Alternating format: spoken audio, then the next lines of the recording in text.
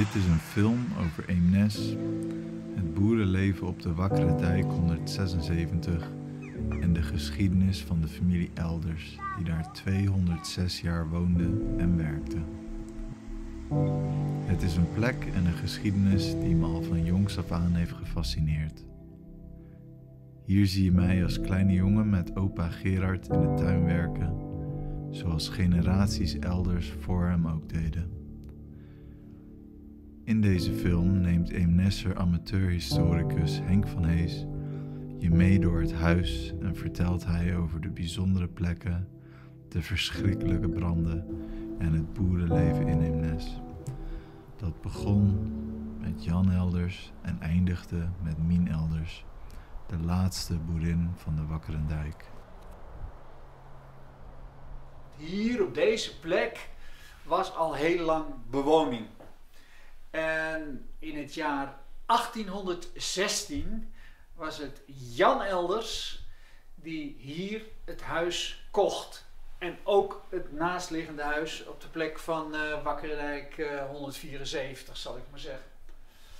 Jan Elders was al even bekend in Eemnes, want in 1804 had hij hier iets verderop bij Dikke Torentje, naast het Dikke Torentje, was toen een eeuwenoude herberg, die heette het Rode Kruis. En die herberg, het Rode Kruis, heeft hij gekocht in 1804. Hij kwam zelf uit Hoogland en hij wilde hier in Eemnes op een of andere manier wat gaan beginnen. En hij is in die herberg daar begonnen als kastelein. Kijk, hier is in Eemnes binnen Dikke Torentje, de kerk. En meteen ten noorden daarvan, dit blokje, was de herberg, het Rode Kruis.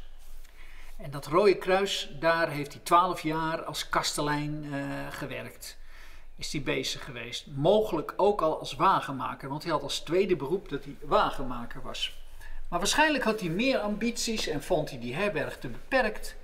En in 1816 kocht hij dus in het burgersmidserf deze twee panden. En het zuidelijke pand, 176, daar ging hij zelf wonen. Daar maakte hij zijn wagenmakerij en daar kwam ook uh, zijn café.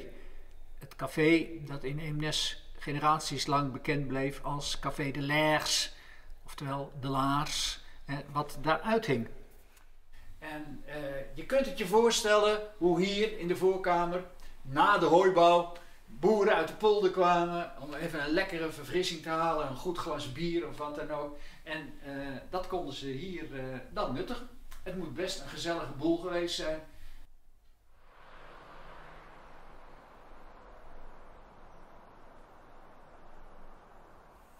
Zijn zoon Gerrit die nam het over. En die werd, had weer dezelfde combinatie. Was wagenmaker en kastelein. En ook hem ging het goed. Na hem ging de zaak over op twee zonen. En de zoon Teunis, die nam hier het pand over.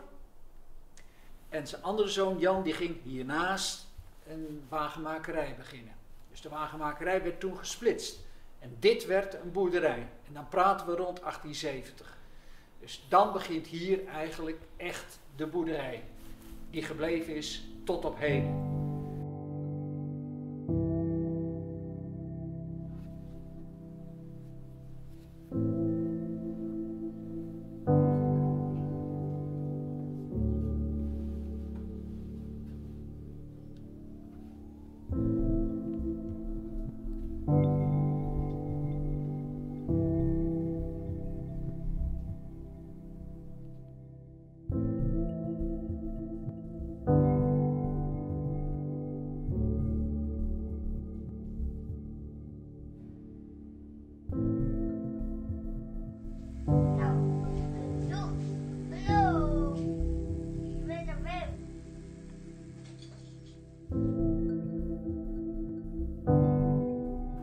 Is niet altijd roze geur en maneschijn geweest op deze boerderij.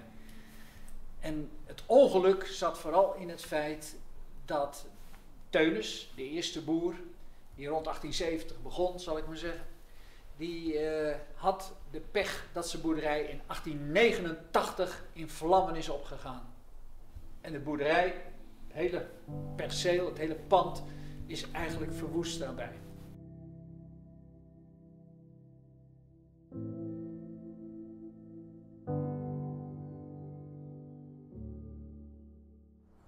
Maar ja, zoals dat ging, er bleven meestal nog wat muren staan.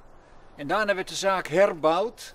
Dus de kans is heel groot dat nog een aantal stenen in deze muur dateren van de oude boerderij, zoals die origineel was, voor 1889. En als we hier de hoek omlopen.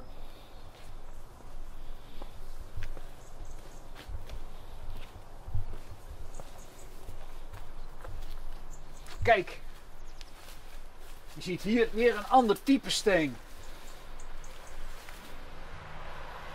En het zou ook heel goed kunnen dat dit de alleroudste zijn.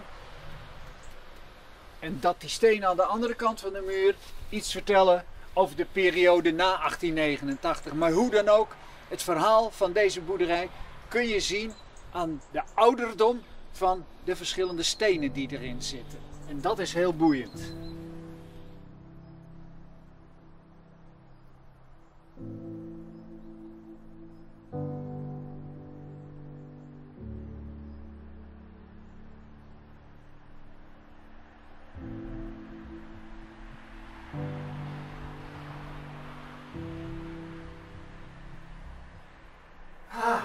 Hier.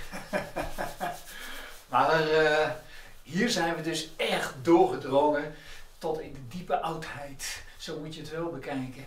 Het is hier inderdaad goed geconserveerd.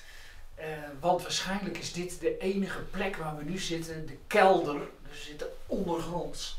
Is dit de enige plek waarvan we met zekerheid kunnen vaststellen dat deze plek alle branden doorstaan heeft. Uh, dus zowel die brand van 1889 als die van 1920 hier. Hier vind je echt het hele oude Eemnes terug. Die oude plavuizen. En hier de, de pekelbak voor het kaas maken.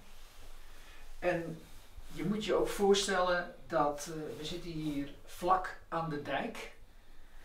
Uh, voorkant. En we weten dat uh, het nog wel eens een keer gebeurde dat, uh, dat die dijk doorbrak en dat er overstroming kwam enzovoort. Dus ik kan me ook voorstellen dat hier de bol wel eens een keer onder water gestaan heeft.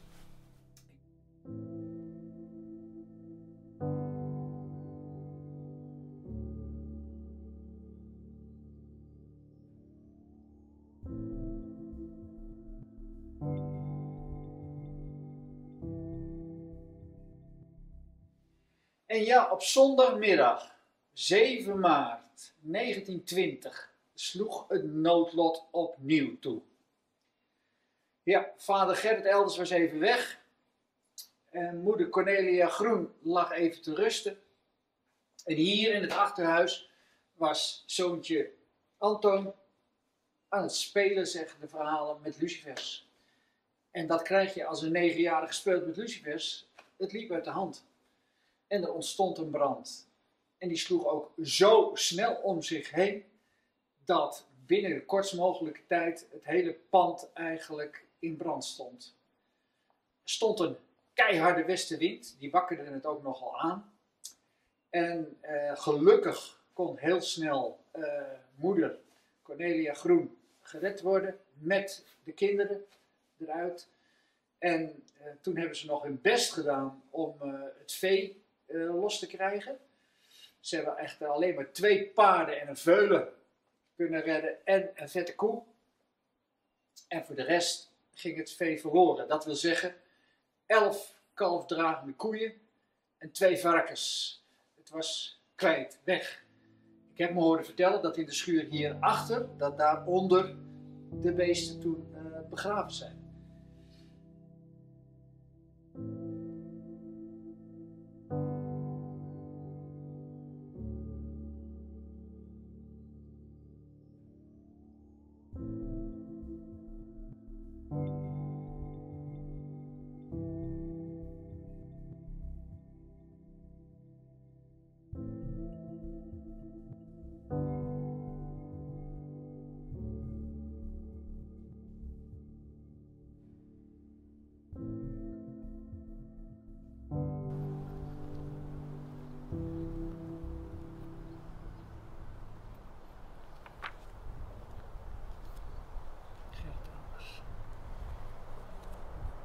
zijn ze, ja.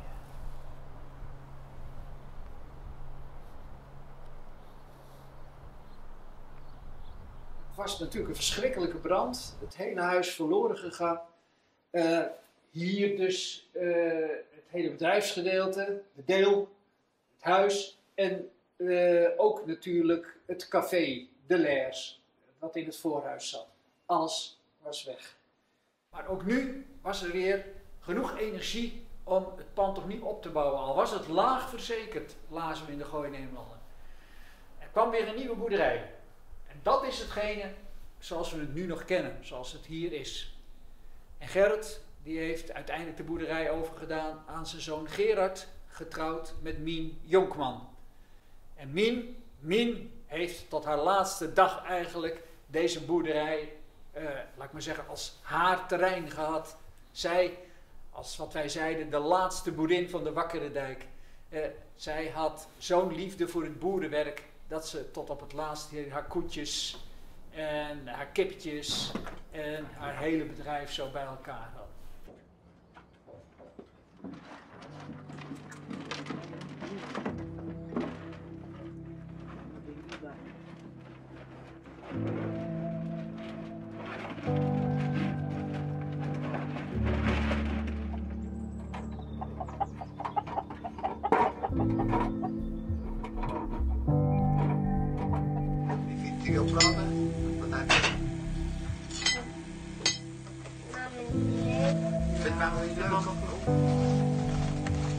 Dat is. Dat vind ik wel leuk, hè?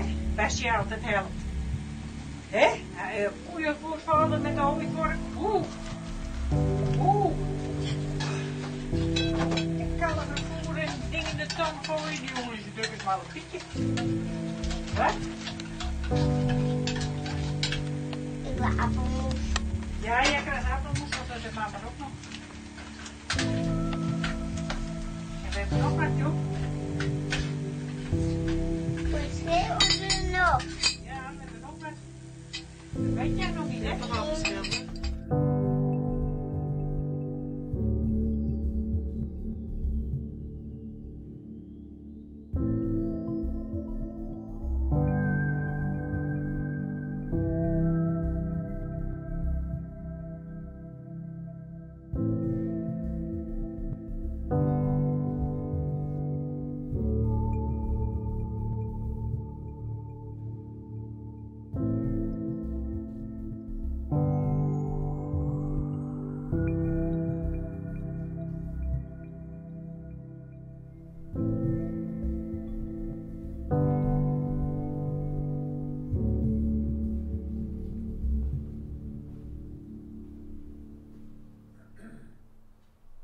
Boven de koeien hier was een kamertje.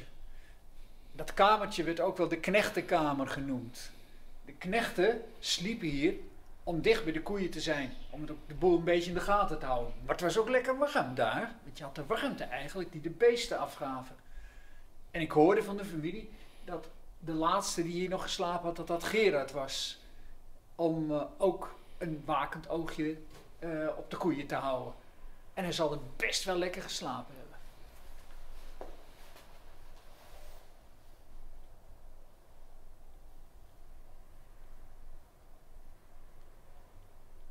Dat is toch nog echt de oude boer.